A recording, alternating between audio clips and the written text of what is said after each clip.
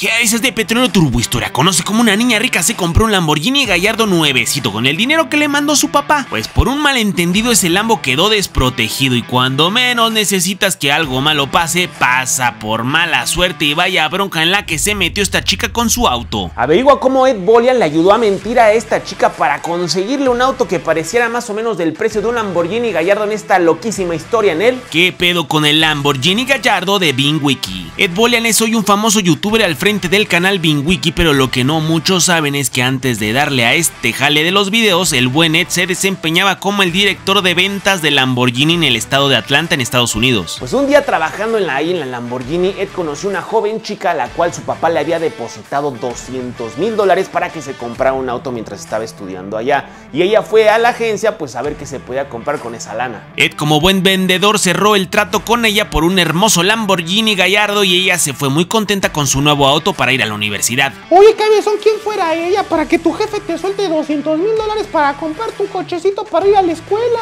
Ya sé, Turbo Hater, claramente la familia de esta chica era muy rica. El punto es que Ed cuenta que no volvió a saber de ella como en un año cuando terminando el verano la vuelve a buscar con una muy mala noticia. Resulta que para el verano ya se fue de vacaciones dos meses a China y dado que el auto estaría estacionado dentro de su casa y nadie lo usaría, pidió a su compañía de seguros que cancelara su seguro por el verano y se reactivara en agosto que volviera de su viaje. El seguro le contestó a esta chica a su petición que sí, podían cancelar el seguro, sin embargo, una vez que ella regresara de su viaje en agosto ya tendría que reactivarlo el seguro haciendo el trámite otra vez. El punto es que esta chica no entendió, ya no vio este correo, pero ella creyó o asumió que ya que regresara en agosto de sus vacaciones se reactivaría el seguro por sí solo. El punto es que se dio la mala suerte que su nuevo novio, un turbo mamador cualquiera, le pidió ese Lambo para dar el rol y acabó fuera del camino, en donde todos estaban bien, pero ese Lamborghini quedó todo deshecho. A ver, mi rey, sí, yo conocí a esta chica y sí fuimos novios, pero yo no choqué ese Lamborghini, sino por supuesto me hubiera hecho responsable de los daños.